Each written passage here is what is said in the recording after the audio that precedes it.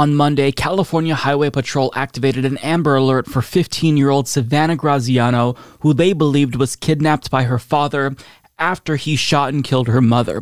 Now, just one day later, they announced via Twitter that the Amber Alert had been deactivated with no additional details. The question is, why? What's going on? When are the details going to come? Did they find her?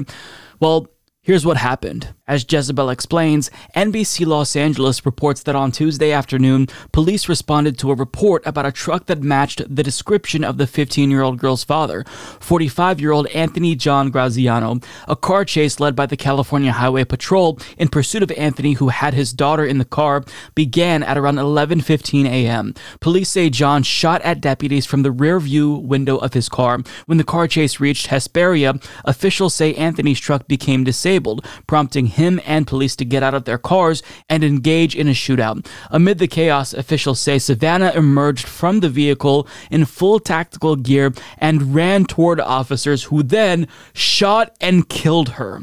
Anthony was also shot and died at the scene, while Savannah died shortly after being taken to the hospital. So just stop for a moment and try to understand how incomprehensibly incompetent these dumb officers were. They knew they had the suspect who reportedly kidnapped his daughter right there. And when they see her emerge from the vehicle running towards them, presumably to be saved, they shoot and they kill her. This is a 15 year old child that they shot and killed. Words cannot explain how incompetent these officers are. Now, we don't have any more details. We know that they shot and killed the person who they were trying to save. And um, we don't even know the officer who did it.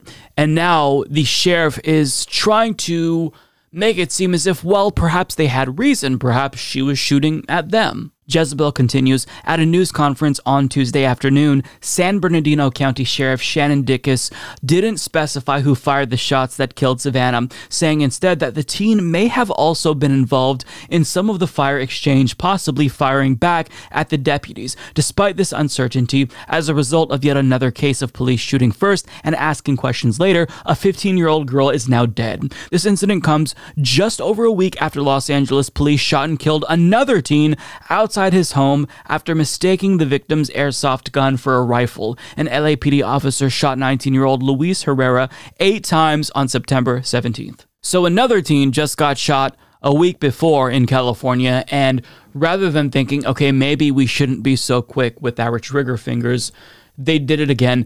But in this instance, they know that the man they're pursuing, they presumably know that the man they're pursuing kidnapped this girl who they're trying to save.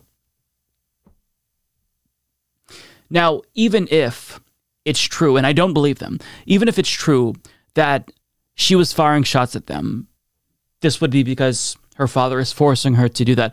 But assuming that this is true, you know that this is a little child who is innocent, who was kidnapped by her father. Why would you open fire as she's running towards you? Did she have a gun in her hand? I mean, there, there's really no justification for what they did. It's just idiocy. That's why they did it. It's idiocy. They pulled the trigger on a fucking child. This is a common phenomenon that we see all the time where police officers open fire on unarmed people who are innocent, mostly black and brown people, but sometimes innocent people who aren't black and brown as well. They just, they are overly eager to use lethal force. I, I just don't know what to say about this. The system is completely broken to its core, and there's really nothing to say. A child is dead because these idiot police officers, rather than trying to save her after issuing, issuing the Amber Alert, shot her. And to make matters worse, to put out the Amber Alert and then deactivate it and just say, oh, Amber Alert deactivated not explaining why it was deactivated. It just it it adds salt to the wound, just completely unacceptable and sheer insanity.